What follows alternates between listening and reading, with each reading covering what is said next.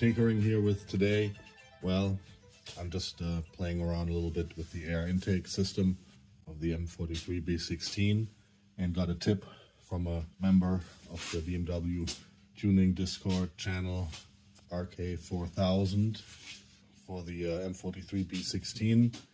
You can change the uh, air meter and the boot with the version from the M43B18 or the uh, M42 B18, the 16 valve. Those have the same AFM and intake boot, and apparently the M43 B16 AFM and intake boot is a little bit smaller in diameter than the B18.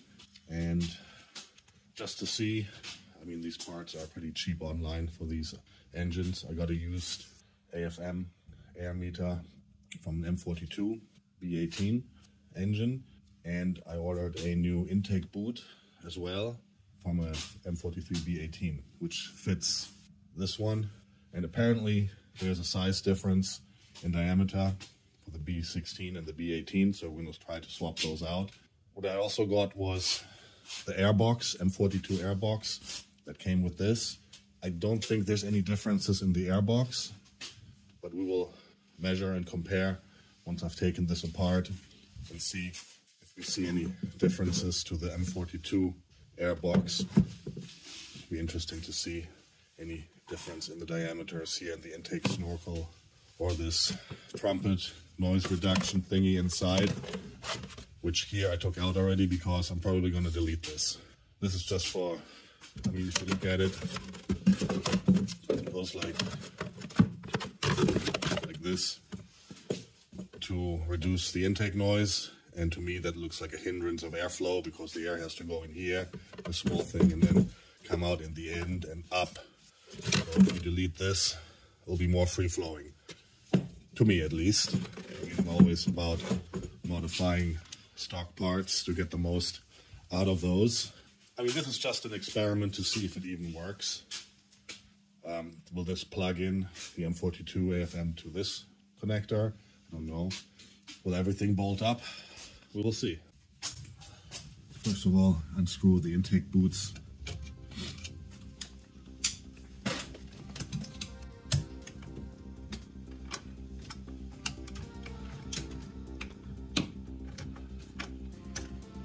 Okay, this off. Okay, now I think I'm just gonna remove this whole box first.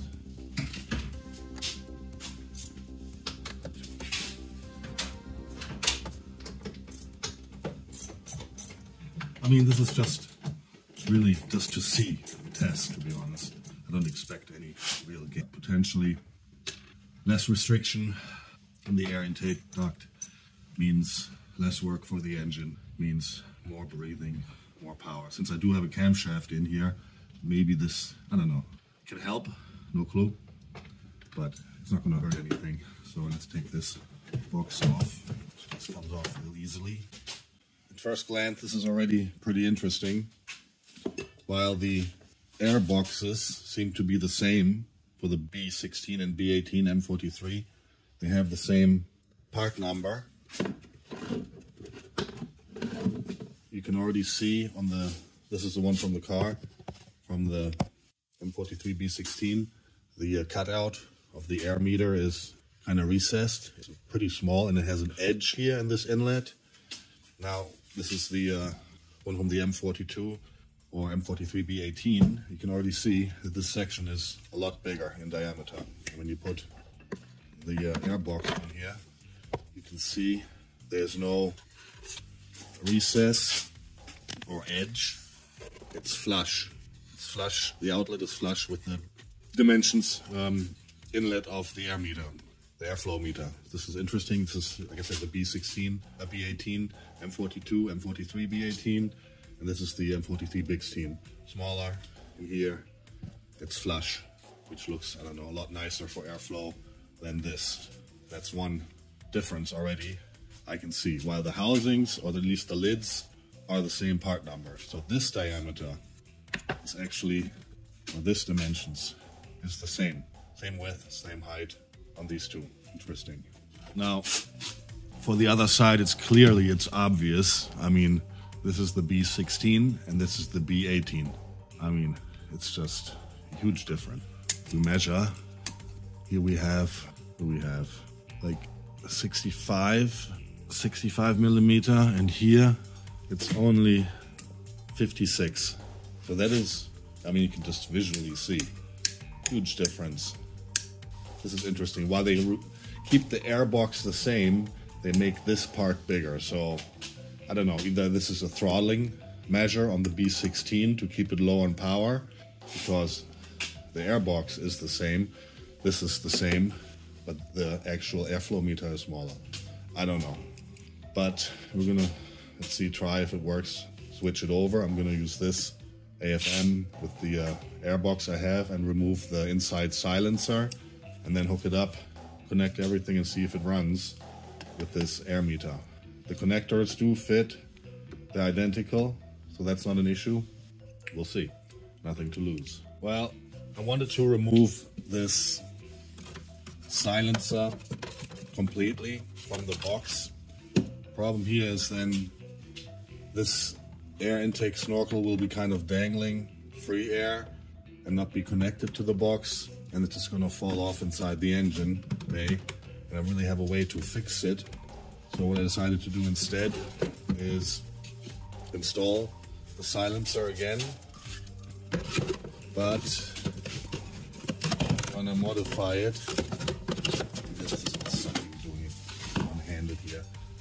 Basically, goes like like this through here, and then the air comes out at the very end to the top, which I don't know doesn't really look great for airflow.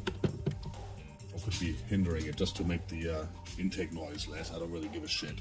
So what I'm gonna do is I'm gonna cut this out two sections. One section here, so it's gonna be open, um, facing up, and the air can, just come in and then just go immediately to through the air filter instead of having to go at the exit. So I'm gonna cut here and here and have like a wide piece open. That's the best I can do.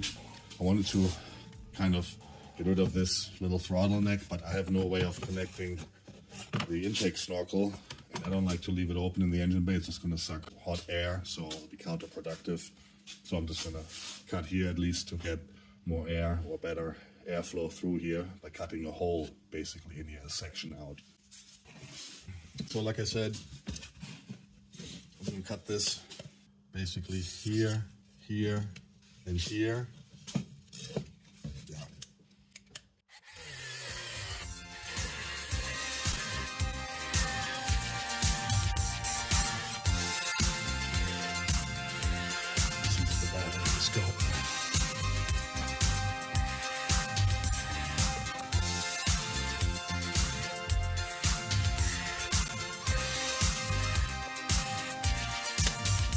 This thing is dead.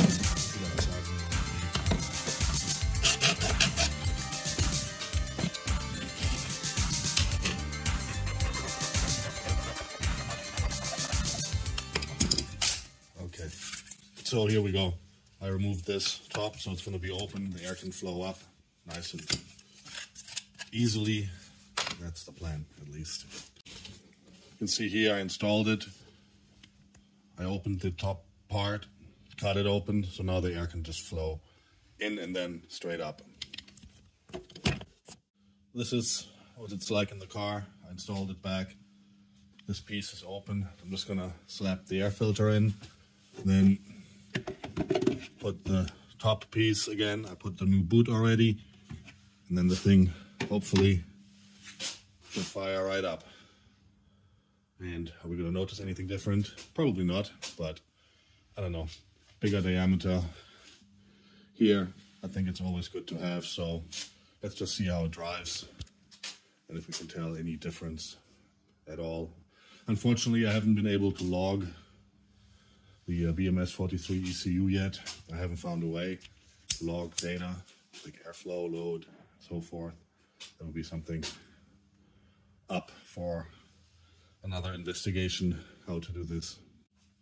Everything back together. Let's just even see if it starts up with the new AFM air meter. The bigger one will it even work? with the ECU, the stock one. I have no clue. Let's see. Okay. That's a little bit rough. I mean, it's cold. Revs.